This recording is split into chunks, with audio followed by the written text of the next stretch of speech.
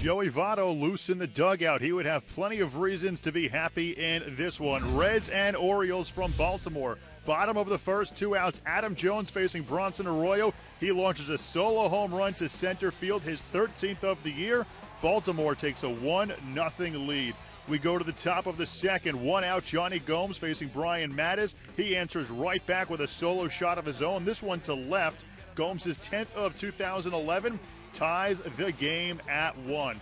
We go to the top of the third, still a 1 1 ball game. Runners at first and second for Joey Votto.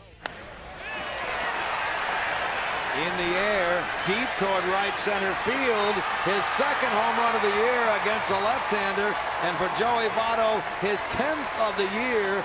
For Votto, it's also the 100th home run of his career. It puts the Reds ahead 4 to 1. Home half of the third, after J.J. Hardy singled to lead off the frame, Nick Markakis goes yard. His sixth of the year makes it a one-run game. It trims the Reds' lead to 4 to 3.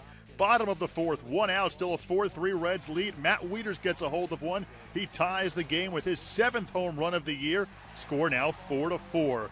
The Reds, though, would answer right back, top of the fifth, after Brandon Phillips led off with a double. Joey Votto looking for more. Another high, deep drive by Joey Votto. Does he have another one? He does indeed. Joey Votto, a multi-home run game and a five RBI night thus far. And the Reds are back in front 6-4. Votto's second of the day is his 11th of the year. Top of the seventh, still a 6-4 Reds lead. Scott Rolen gets in on the action. With Joey Votto on first, Rolen goes yard. His fourth of the year makes it an 8-4 Reds lead. Cincinnati goes on to the eventual 10-5 victory. Nine combined home runs for both teams in this game. Bronson Arroyo, the winning pitcher, he goes six and a third for his seventh victory of the year.